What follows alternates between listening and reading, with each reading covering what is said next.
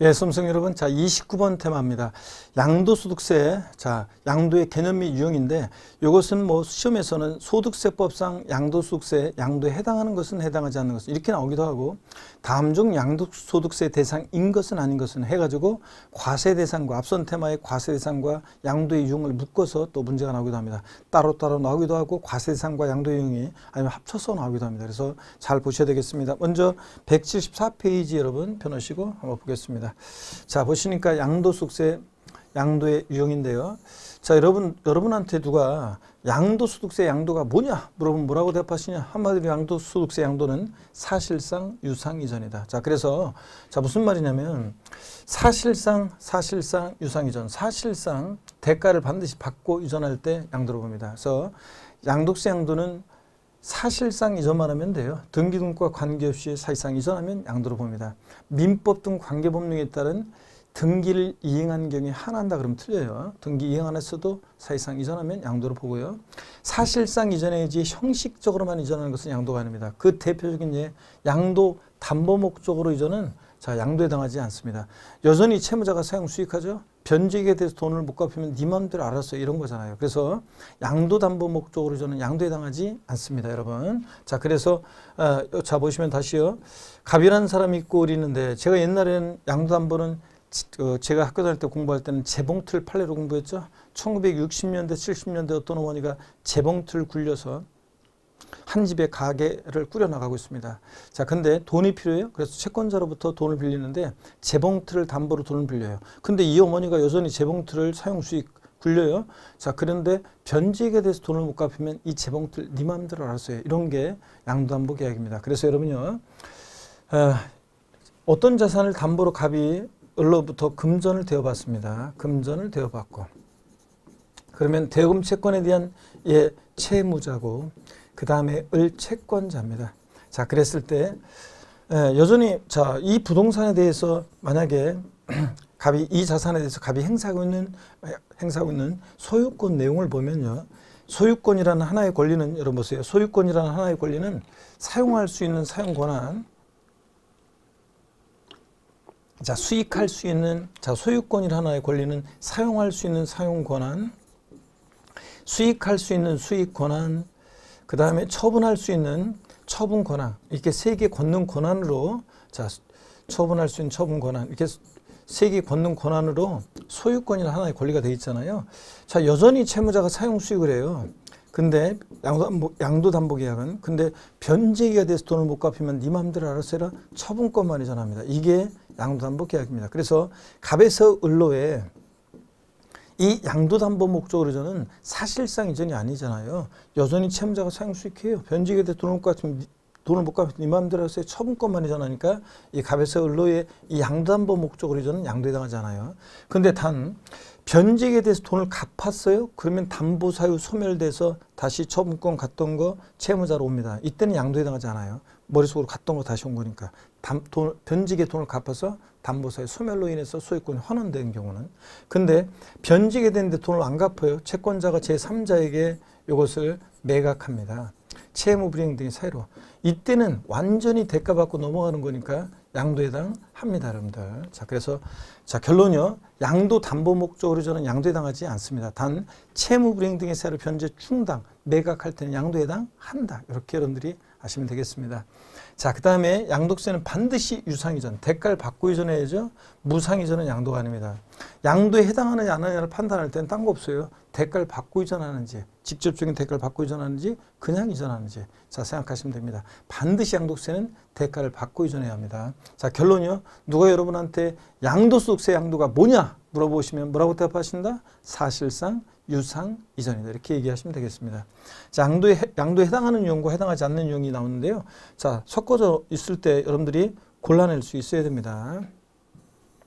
먼저 양도에 해당하는 경우 매도요.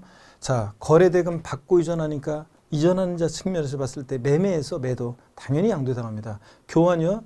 금전 이의 재산권서로 맞바꾸죠. 갑소유 A 건물 을수 피터지.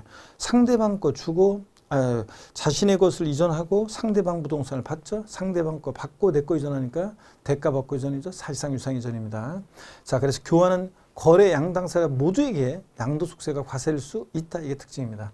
그 다음에 법인의 현물 출자도 양도해당합니다. 출자자가 있고 설립회사가 있어요. 자 그러면 출자자가 부동산으로 현물 출자합니다. 소유권 이전하죠. 대가를 받는데 무슨 대가를 받아요? 설립회사로부터 주식, 신주, 배정 받고 이전하니까 법인의 현물 출자도 사실상 유상이전으로서 양도당합니다. 또 이런 것도 판례 내용도 하나 알아두세요. 갑은 토지를 출자하고 을은 자금을 출자해서 공동으로 부동산 사업을 시행하는 경우에 갑의 토지 출자도 양도로 봅니다. 참고적으로요. 자기 회사, 1인 회사의 현물 출자하는 것은 대가관계 없다고 봐서 양도에 당하지 않고 조합의 현물 출자도 양도에 당하는데 자기 지분만큼은 아니고 자기 지분 초과 부분에 대한 그 조합의 현물 출자는 양도에 당한다. 이런 것도 한번 참고적으로 봅니다. 결론 법인의 현물 출자는 양도에 당한다. 요거 꼭 기억하시면 되고요. 자, 그 다음에 계속 이어서 봅니다. 매도 교환 법인의 현물 출자 양도에 당하고요. 그 다음에 대물 변제도 양도에 당하는데 여러분 보세요. 대물 변제. 자, 이런 구조입니다. 대물 변제는. 자, 보세요, 여러분들. 대물 변제는 갑이라는 사람이 있고 우리인데 갑이 을한테 2억 원, 금전 2억 원을 대여했어요. 돈을 빌려줬습니다. 대여금 채권에 대한 채권자고 을은 채무자입니다. 변제에 대해서 돈을 갚아야 되는데 갚을 돈이 없네요. 그래서 마침 2억 상당의 부동산을 자 부동산을 부동산을 이 부동산을 변제 가름하여 자 변제 변제 가름해서 이 부동산의 소유권을 이전합니다. 그러면 양도세 대상 물건이 사실상 이전됐습니다. 대가를 받아야 되는데 무슨 대가를 받느냐. 자, 부동산을 변제 가름하여 소유권 이전함으로 을은 2억 원 대여금 채무를 뭐 하게 됐어요? 면하게 됐잖아요. 대여금 채무면은 대가를 받고 이전했다고 해서 양도에 당합니다. 자, 똑같은 구조를 이거는 지금 금전적 채무에 가름해서 대상 물건을 이전하는 거 양도에 당하고 이혼할 때 이혼의 위자료 지급에 가름해서 대상 물건을 이전하면 양도에 당합니다. 이혼할 때 어떤 여자가요 헤어지면서 전 남편한테 부동산으로 위자료를 주면서 이거 먹고 떨어져 그러면은 위자료 지급 채물면은 대가를 받고 이전에 있으니까 양도에 당합니다. 이혼의 위자료 지급하면 이전. 단 근데 면할 수 있는 방법도 있어요. 제가 항상 얘기하지만 이혼할 때 양도숙세 대상 물건을 주면 위자료를 주면 안 된다. 왜? 아, 위자료 주는 것만으로 오래도 오래 죽겠는데 생까지 내야 되잖아요. 다만 근데 제3분할 청구권 행사로 인한 이전으로 취득 원인을 기재하면 세금 안 낼 수도 있습니다. 제3분할 청구권 행사로 인한 이전은 양도당하지 않습니다. 내목 내가 찾아간 거잖아요. 부부가 혼인 후에 형성한 재산은 부부 공동 소유 재산인데 내목 내가 찾아갔으니까 양도에 당하지 않습니다. 손해배상 위자료 지급에 관한 이전은 자 위자료 지급 채무 면한 대가를 받고 이전하니까 역시 양도에 당하고 조세 물납도 양도에 당합니다. 지자체 부동산으로 물납합니다. 소유권 이 전하고 대가를 받는데 무슨 대가를 받습니까? 조세 채무를 면하게 되잖아요. 자, 그래서 이런 것들 다 양도에 해당합니다. 여러분, 자, 그래서 반드시 이 대물 변제로서 양도에 해당하는 것들, 판례와 소득세 기본 통칙에 대한 것들 다 알아두셔야 되겠습니다. 비과세 요건을 충족한 1세대 주택을 대물 변제, 이혼의 위자료 지급에 가름해서 이전했다. 그러면 대물 변제는 양도에 해당하지만 비과세권을 갖췄으니까 양도세는 과세되지 않고요. 자, 이렇게 해서 대물 변제 꼭 양도에 해당하는 거 알아두시고 단 제3분할 정권 행소로 인한 이전은 양도가 아니라는 것도 꼭 비교합니다. 자, 수용도 양도에 해당합니다. 자, 수용권자가 있고 토지 소유자가 있으면 토지 소유자가 토지 소유권을 수용권자한테 사실상 이전합니다. 대가를 받는데 무슨 대가를 받냐? 보상금 받고 이전하니까 수용도 강제적으로 매매 이뤄져도 양도에 당합니다. 자, 여러분 우리 부담보 중에 한번 볼까요? 부담보 중에. 자, 부담보 중에 봅니다. 부담 있는 증여라는 거죠. 예, 부담부 중에는 예를 들어서 시가 5억 상당의 예, 갑이란 사람이 을한테 시가 5억 상당의 토지를 5억 상당의 토지를 증여합니다. 증여자 갑이고 증여를 받는 수중자 을이 있습니다. 자, 그랬을 때요. 예, 이 토지를 담보로 근데 갑이 은행에서 빌려 쓴 3억 원의 차입금이 있습니다. 저당권이 설정돼 있을 때. 야, 을, 왜?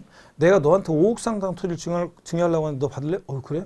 야, 근데 내가 그 토지를 담보로 은행에서 3억 원 빌려 쓴 거 있어. 그건 네가 좀 갚아줘야 되는데. 아이, 진짜 고마워. 이렇게 했죠? 알았어. 내가 알아서 갚을게. 그러면 수증자가 채무를 인수하기로 했을 때 채무를 인수하기로 했을 때 증여자와 수증자가 내야 될 생관계를 말해봐라. 그러면 여러분요. 증여자는 증여자는 이 수증자가 인수하는 이 채무 인수액 상당액 부분에 대해서 채무 인수액 상당액 부분에 대해서 요 사례 같으면 지금 3억이죠. 요것에 대해서 양도소득세를 계산해서 납부할 의무가 있습니다. 양도소득세를 계산해서 납부할 의무가 있다. 양도소득세 양도에 해당하려면 반드시 대가를 받고 이전해야 되는데 무슨 대가를 받았습니까 여러분? 자, 증여자가 자신이 갚아야 할 돈은 3억 원을 수증자가 대신 갚아주니까 3억 원만큼 채무면은 대가를 받고 유전했다고 봐서 그래서 양도에 당합니다.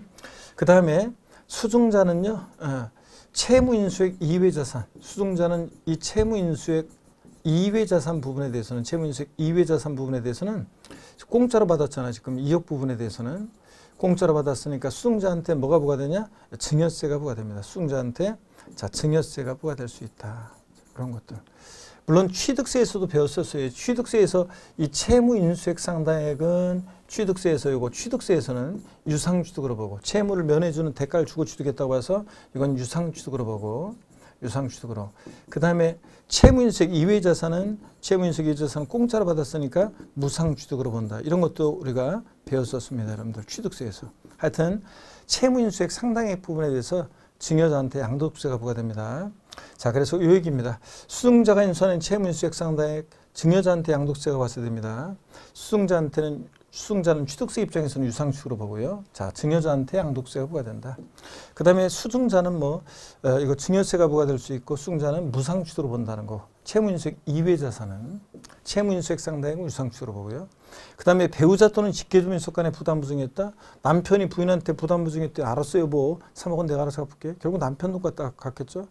자, 중고딩 자녀한테 아빠가 부담 부증합니다. 알았어요 아빠. 제가 학원 다니는 틈틈이 저 남는 시간에 알바 뛰어서 3번 갚을게. 결국 아버지 돈 갖다 갚겠죠. 그래서 배우자 직계주민서 간의 부담 부증에는 채무 인수액 상당액이 수증자에게 인수되지 않은 것으로 추정해요. 본다가 아니라 추정입니다. 인수되지 않은 것으로 추정하니까 인수가 돼야지만 증여자는 3억 원만큼 채무를 면한 대가를 받았다고 보는 건데 인수되지 않은 것으로 추정하니까 결국은 5억 전체에 대해서 증여하는 것으로 추정합니다. 다만 배우자 직계점속 간에도 해당 채무를 인수한 사실이 객관적으로 입증되면 양도로 보는 경우도 있습니다. 여러분들. 그래서 흔히 신혼부부 자녀한테 집 사줄 때 그냥 집 사주는 것보다는 대출 끼고 전세 끼고 집을 사줘서 이 부분은 양도소득세로 계산하고 나머지는 증여세로 계산하면 단순 증여하는 것보다 반드시는 아니지만 대체적으로 세금을 절세할 수 있다고 그랬습니다. 여러분들. 자 그런 얘기고 그 다음에 부담부 증여시 양도채 계산은요. 요거는 시험에서 이미 자 부담부 증여시 양도채 계산은 이게 최근에 30회 시험에서 사례 문제로 자세하게 물어봤기 때문에 또 물어볼 가능성은 좀 낮아요. 자 그래서 부담부 증여시 요거 어, 양도채 계산 관련한 것은 참고적으로 보시면 되겠습니다. 원래 이 부담부 증여시 양도가액은요. 어, 이 채무인수액 상당액이 무조건 양도가액이에요. 예, 왜냐하면 예, 여기에 채무인수액 상당. 왜냐하면 요 양도 당시 재산가액에다가 증여 당시 재산가액분의 채무인수액을 곱하는데 이 양도 당시 재산가액이 이게 이제 예, 누구 입장에 보느냐에 따라서 그런 거죠. 같게 돼 있어요. 이게. 증여자 입장에서 보면 아까 사례에서 양도 당시 재산가액이 5억이고 수증자 입장에서 보면 증여받은 당시 재산가액이 5억이고 채무인수액이 3억인 거예요. 자, 그래서 이거 약분 이거 하게 돼 있어요. 그래서 무조건 부담부증의 양도자 계산은 양도가액은 채무인수액 상당이 되는 거고요. 취득가액은 시험의 조건에 나와요. 예를 들어서 취득 당시 가액이 1억이다. 자 그러면 조건에 나와요. 그러면 취득 당시 상속증여세법에 의해서 평가한 가액 1억. 그러면 증여 당시 재산가액분의 5억분의 채무인수액. 그래서 이렇게 해서 여러분들이요. 어, 자 1억 곱하기 5, 저 5분의 3이니까 자 1억에 5분의 3이 얼마입니까 여러분? 네? 자 얼마예요? 2천만 원씩에 5 하면 2천만 원씩 5 하면 1억이잖아요. 자, 그러니까 그거에 3이니까 얼마입니까? 6천만 원. 자, 그래서 6천만 원이 이제 취득가액이 되고 이런 식으로 계산하는 거예요. 자, 채, 양도가액은 채무인수액 상당액이 무조건. 자, 그 다음에 취득가액은 취득 당시 재산가액 조건에 나와요. 거기다가 채무, 증여받은 재산가액분의 채무인수액을 곱해서 구합니다. 이렇게. 이런 거고. 그 다음에 이런 것까지는 뭐 신경 쓸 거 없어요, 여러분들. 한번 나중에 기출문제 보면서 보시면 되는 거고요. 됐습니다.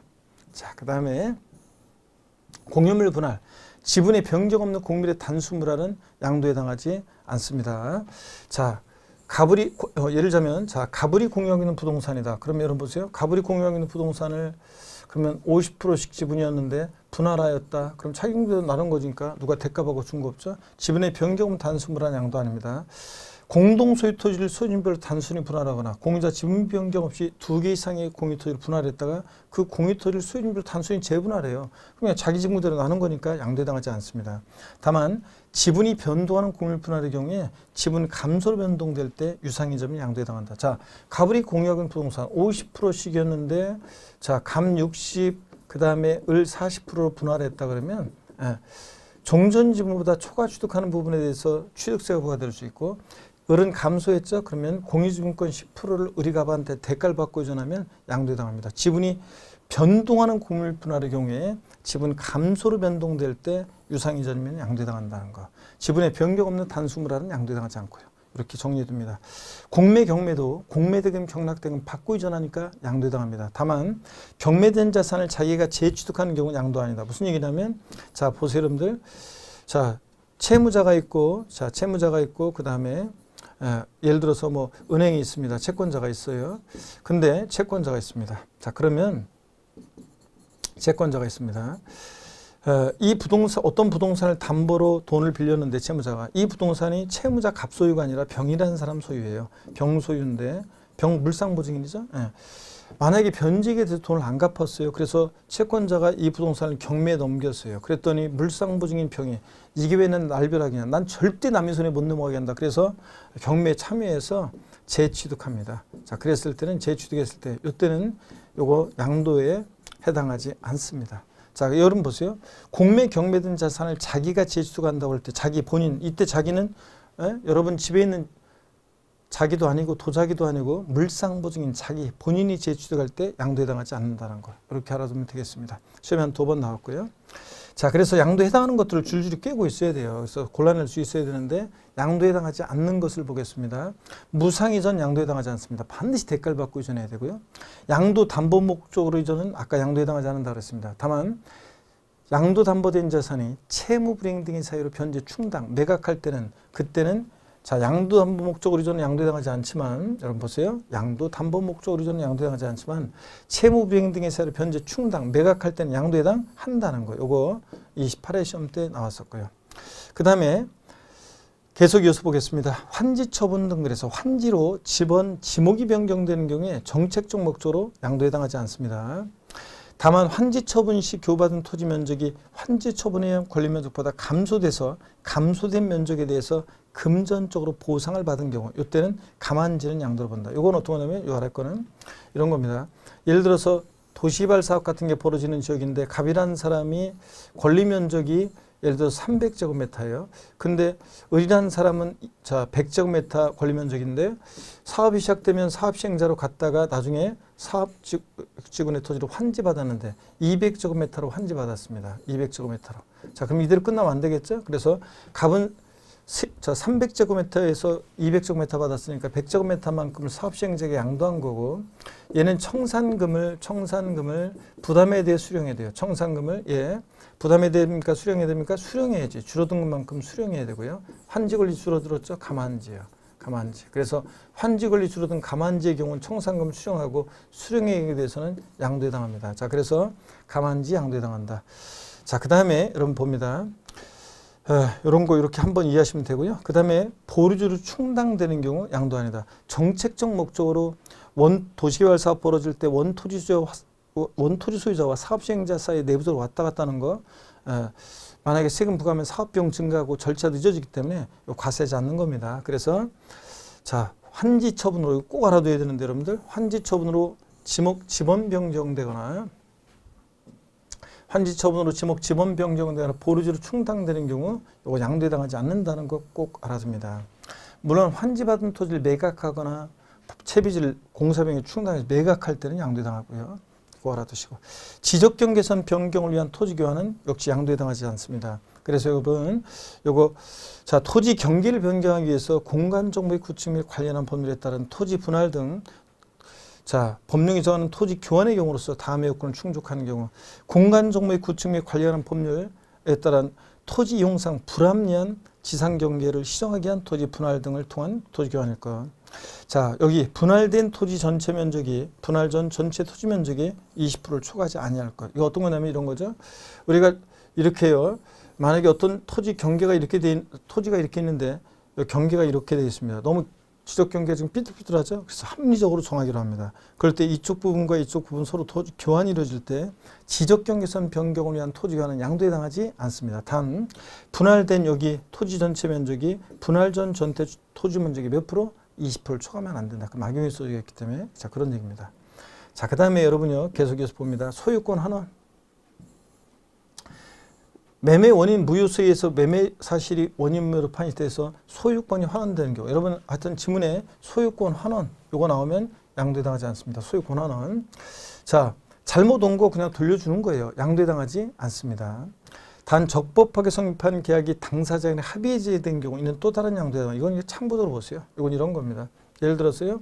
갑과 을이 갑과 을이 부동산 거래를 했는데 갑과 을이 거래를 했는데 예, 잔금까지 치렀어요. 예, 근데 자 갑에서 을로 이전은 양도해 당하고요. 근데 갑이 을한테 오더니 야, 야, 야, 내가 너한테 지난번에 팔았던 집 있지? 어, 야, 그거 우리 아버지가 오랫동안 살았던 집인데 그거 너한테 팔, 팔았더니 그 다음부터 막 그 아버지가 꿈에 보이는 것이 돌아가신 아버지가 꿈에 보이는 것이 팔지 말라는 계시 같다.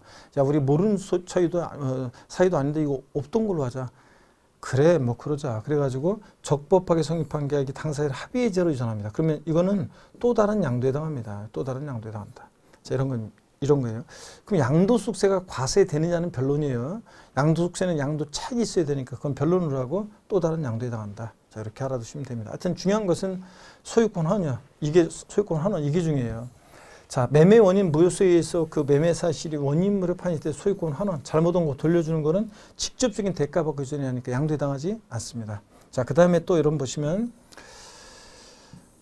명의신탁 포함한 그 신탁으로 인한 소유권 이전 양도 아닙니다. 자, 여러분 지문에 시험 지문에 소유권 환원, 그 다음에 신탁 요거 나오면 양도당하지 않습니다. 그냥 믿고 맡긴 것 뿐이에요. 믿고 맡겼다고 돌려받은 것 뿐이에요. 자, 그러니까 아, 신탁 양도해당하지 않습니다. 법원의 확정 판결에 의해서 신탁 해지를 원인으로 소유권 전 등기하는 경우도 양도해당하지 않습니다. 이런 것들. 자, 기타 판례와 통칙에서 양도를 보지 않는 경우, 명의신탁이 해지돼서 신탁자 명의로 소유권 이전 등기가 격려된 경우 돌려주는 거잖아요. 그냥 양도당하지 않고요. 채권 담보 목적으로 소유권 이전 등기했다가 담보사의 소멸 환원. 자, 돈 어, 처분권 채, 채무자의 채권자로 이전했다가 돈 갚으니까 다시 다시 소유권 환원합니다. 다시 복귀하는 거. 요 양도당하지 않습니다. 처분권 갔다가 다시 온 거니까. 배우자 직계전 미속의 재산을 양도했다. 무슨 한 입을 놓고 자나서의 부모 자식 간의 양도냐. 자, 증여로 추정해서 증여세 부과합니다. 다만 추정이니까 반대 증거 있으면 깨질 수 있죠. 단 대관계가 입증이 되면 양도를 보는 경우도 있어요. 그래서 대관계 입증된다는 게 참고적으로요. 뭐 공매나 경매, 예. 뭐 공매나 아이고 자 공매나 경매로 이전한다거나 자 보세요. 공매나 경매 등으로 이전하는 경우 공매나 경매 등을 통해서 이전한다거나 아버지 재산이 공매 넘어가는데 아들이 경락을 받는다거나 부부 간의 등기 등록을 요하는 재산을 교환한다거나 자 이런 것들은 양도로 봅니다. 배우자 직계임속 간에도 자 이렇게 해서 여러분들 한번 쭉 보시면 되겠습니다. 자 그래서 제가 177페이지까지 어, 다 소개해 드렸고요. 양도에 해당하는 거 해당하지 않는 거 섞여 있을 때 반드시 골라낼 수 있으셔야 되겠습니다. 자 그래서 여러분들이 OX 문제 풀어보시고요. 자 그 다음에 테마 29번 같은 것도 한번 쭉 보시면 여러분 봅니다. 그래서 OX 여러분들이 보시고요. 네, 충분히 여러분들이 다 풀 수 있습니다. 보시고 복습 겸해서 그 다음에 테마 자 우리 자 보시면 1번 문제 같은 것도 여러분이 한번 보세요. 자 양도 해당하는 거 그랬는데 도시별법에 따른 그 밖에 법률에 따른 환지 처분으로 지목, 지번이 변경되거나 보류제로 충당되는 경우 양도해당하지 않는다 그랬습니다. 그 다음에 자, 부담부 증여 시 증여가액 중 채무액에 해당하는 부분요. 어, 채무액 상당액은 양도에 해당하는데 채무액에 해당한 부분을 제외한 부분은 이건 공짜로 받았으니까 이것은 증여에 해당되고요. 여러분들. 자, 그 다음에 소득세법 시행령 규정에 따라 양도담보계약을 체결한 후 채무 불이행으로 인해서 당해 재산을 변제 충당했다. 이때는 완전히 대가받고 넘어가는 거죠. 양도에 해당합니다.